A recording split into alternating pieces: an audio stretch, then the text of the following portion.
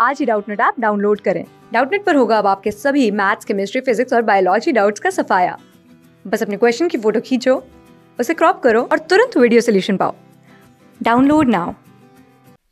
देखो, ये हमारी प्रॉब्लम है, हमसे पूछा गया है, in a compound microscope the image produce by objective image ठीक है?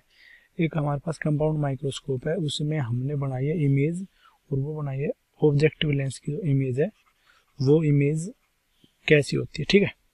उसकी हमें प्रॉपर्टीज़ पूछी गई है। रियल इन्वर्टेड होती है या फिर किस टाइप की होती है, ठीक है?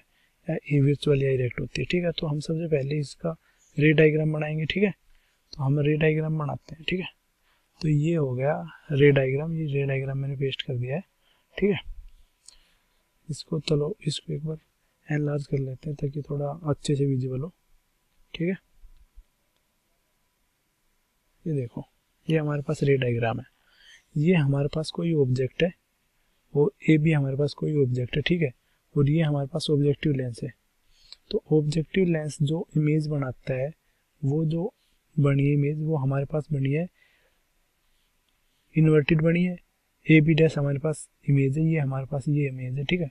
तो ये हमें दिख रही है, ये इमेज बनी है। इन्वर्टेड इन्वर्टेड और ये हमारे पास रखा गया है। टू एफ़ और एफ़ के बीच में। टू एफ़ और एफ़ के बीच में रखा गया ऑब्जेक्ट किस लेंस के? तो इसका मतलब क्या है? ये इमेज हमारे पास रियल भी है तो हमारे पास जो इमेज बनी है वो रियल है और इन्वर्टेड है, ठीक है?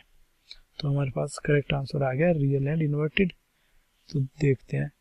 तो हमारे पास आ जाता है ऑप्शन टू करेक्ट इसमें बोल रखा है real enlarged and inverted enlarged मतलब कि पहली वाली से ऑब्जेक्ट से साइज़ में बड़ी, ठीक है? तो ये ऑब्जेक्ट साइज़ में बड़ी हुई है तो हमारे पास करेक्ट ऑप्शन आ जाता है ऑप्शन टू तो ये हमारा आंसर हो गया. क्लास सिक्स से ट्वेल्थ से लेके NEET I I T JEE mains और एडवांस के लेवल तक, दस मिलियन से ज़्यादा स्टूडेंट्स का भरोसा. आज ही डाउनलोड करें डाउट नेट आप या व्हाट्सअप कीजिए अपने डाउट्स आठ चार सौ चार सौ चार सौ पर.